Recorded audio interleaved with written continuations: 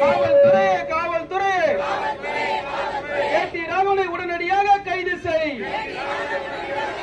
பாதுகாக்காதே பாதுகாக்காதே. பாலியல் குற்றம் பாஜகவை பாதுகாக்காதே. ராஜினாமா செய் ராஜினாமா செய்.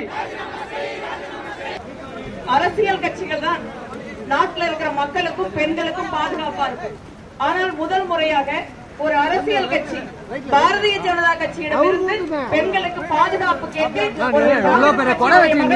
போராடக்கூடிய சூழல் இருக்கிறது.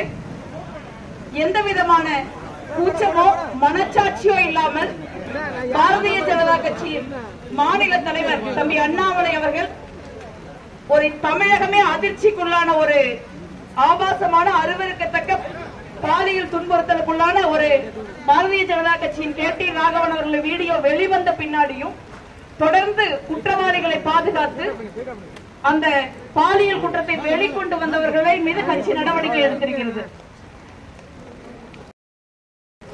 அந்த அளவிற்கு நிலைமை மோசமா இருக்குங்க.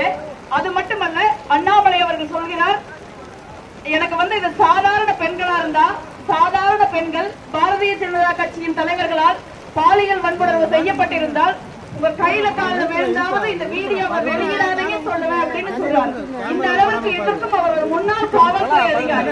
இது எவ்வளவு பெரிய தண்டனைக்குரிய குற்றம்? சமூக ரீதியாக எவ்வளவு பெரிய வன்முறை? இதையெல்லாம் உணர்ந்திருந்தும் ஒரு சாதாரண பெண்ணா அவங்க வந்து பாரதிய ஜனதா கட்சியை சேர்ந்த தலைவர்களால் என்ன வேணும்னாலும் செய்யப்படலாம். அதற்கு நான் காவலாக இருப்பேன் என்று சொல்கிற ஒரு அசிங்கமான காவல்துறை அதிகாரிக்கு ஒரு அரசியல் கட்சியின் தலைமை பொறுப்பில் ஒரு நிமிடம் கூட சொல்வதற்கு தார்மீக உரிமை கிடையாது.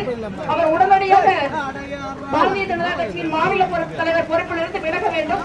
தமிழக அரசு இந்த வேதனையை வேடிக்கை பார்த்துக் கொண்டிருந்தாமல் உடனடியாக